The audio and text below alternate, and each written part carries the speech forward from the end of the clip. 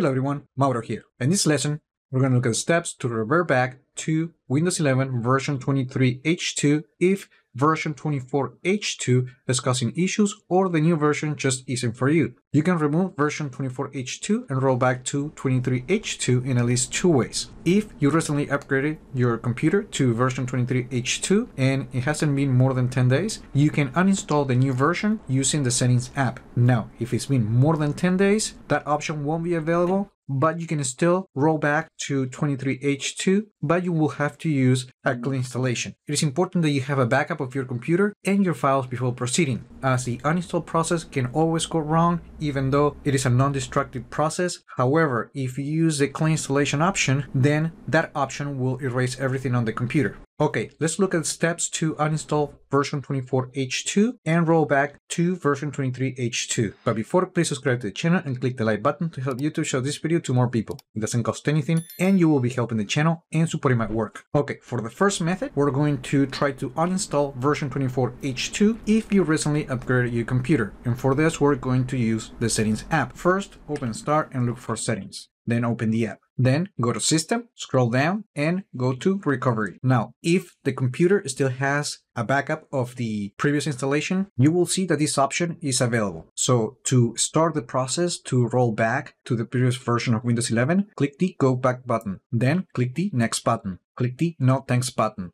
It is important to know that when you roll back, you may have to reinstall some applications and you might lose some of the changes that you have made after the upgrade. And now click the next button. Now, if you use a different password on a previous version of Windows, make sure to remember it. Otherwise, you won't be able to log in on your computer. Now, if you're using a Microsoft account, that might not be an issue. Now, click Next. And this button might be different on your computer. However, and now to complete the mm-hmm. process, we just need to click the Go Back to Earlier Build button right here. Now, I don't need to roll back in this computer, so I'm just going to click the cancel button. However, when you click the button to proceed with the rollback, the computer is going to restart and the process will start. And then after a few reboots, it might take a few minutes and then you should be back on the previous version, which in this case will be the 23H2. Now, if the option to remove the upgrade, which is this one right here, is not available, then the only way to revert or downgrade to version 23H2 will be doing a clean installation, but you will have to use the installation media that contains the previous version of the operating system, which Microsoft no longer offers, but we can still use a workaround, and that's where we're going to look right now. Now, if you have to download an older version of Windows 11, we're going to have to use this website. First, open your web browser and open this site. Then,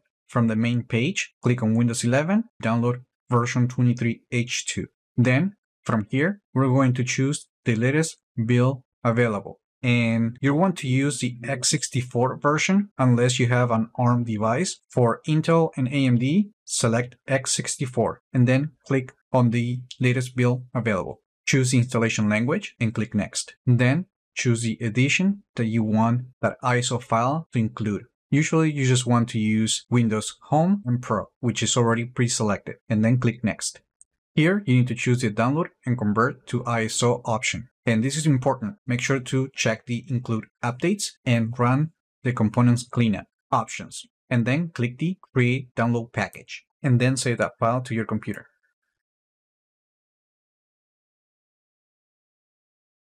Then open the location where you downloaded the file. Double click to open it and click the extract button. Then click the extract button again. Now, it is important to know that we didn't download the ISO. Instead, we just downloaded the scripts to download the installation files from the Microsoft servers. And then, then this tool will create a custom Windows 11 ISO, which in this case is for version 23H2. Then in here, we need to right click the UUP download windows.cmd file and then select the Run as Administrator option.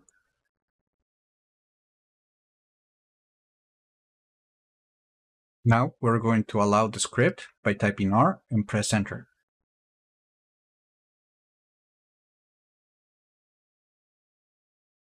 Now the tool is going to download all the necessary files and then it will create a custom Windows 11 version 23H2 ISO file. And this is going to take some time. After the script finishes downloading the files and creating a ISO file, you're going to get a screen like this. And then you just simply need to press zero to exit the script. And then you're going to end up with an ISO file inside of the folder where you have all the scripts that you downloaded from UUP dump. From here, you can rename this and specify a name like win11 underscore 23h2. You can put the date if you want. Otherwise, just press enter. Now, there are multiple ways to perform a clean installation of Windows 11, but I'm going to show you the easiest way so you can roll back as quickly as possible to version 23H2. And the option that I'm going to show you is the one that mounts the ISO into File Explorer to go through the setup process that way. And to do that, just open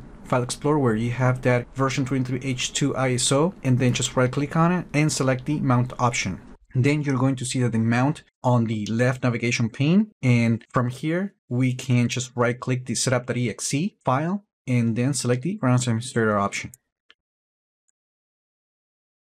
Before we continue, let's open start and I'm just going to look for the run command and I'm going to use the winver command so you can see that right now I'm running version 24h2 and I'm going to clear this option Sometimes you want to download updates during the installation process, but sometimes that might cause issues and it's going to take longer. For this video, I'm just going to select this option to skip the updates, but there should not be an issue if you choose to download updates and drivers. Then click next click the Accept button. And to perform a clean installation of Windows 11 version 23H2 on a computer already running version 24H2, make sure to choose the Nothing option. And because we are downgrading the operating system, the only option that should be available should be Nothing. But if the other options for some reason are available, make sure to choose the Nothing option and then click Next we just need to click the install button to downgrade the system from 24H2 to 23H2. And remember that we actually perform an installation of Windows 11, so you're going to have to go through the initial setup of Windows 11. Now, the installation process can take some time, but it will depend on your hardware configuration. Now, after the installation, we need to complete the out-of-box experience. And first, we're going to select the region, and then we're going to click yes. Now we're going to select the keyboard layout, and then we're going to click yes. We're going to skip this option Now, you can always do this later, but it's recommended that you choose a name for your computer, something that is scripted to your device. When you click Next, the computer should restart automatically. Now, if your computer uses Wi-Fi, you will have to make that connection manually. You will have a page during the process to do that. This computer is connected directly using a wired connection, so the configuration for the network happens automatically. Now, I'm using Windows 11 Pro, so I have also this page that allows me to configure the computer for home or for a work network. But if you're using Windows 11 Home, you're not going to see this page. Now, if you happen to use Windows 11 Pro, select Setup for Personal Use and then click the Next button. Then click the sign in option. Now, I understand that a lot of people don't like to use a Microsoft account to create an account for Windows 11, but this video is to show you how the process to install Windows 11 works. If you want to set up your computer with a local account, please check the link in the video description that includes a video on how to bypass this requirement. In here, I'm just going to sign in with my Microsoft account. And now we're going to click the next button. I'm using the Authenticator app, so I'm going to use my phone to authenticate. Now, from this page, you can restore some of your apps, settings, credentials, and files from a previous installation. And you can only restore files if you were using the OneDrive service. Otherwise, you have to restore your files from a previous backup. If you want to use this option, just click continue and make sure that the computer name is the same as the one that you had before to make sure that you're restoring the correct apps, settings, and credentials. Now, if you're not sure or you don't want to use this option, just click the more options link and then we're just going to use the setup as a new PC option. And then we're going to click the setup as a new PC option one more time. Now we're going to create a pin to sign in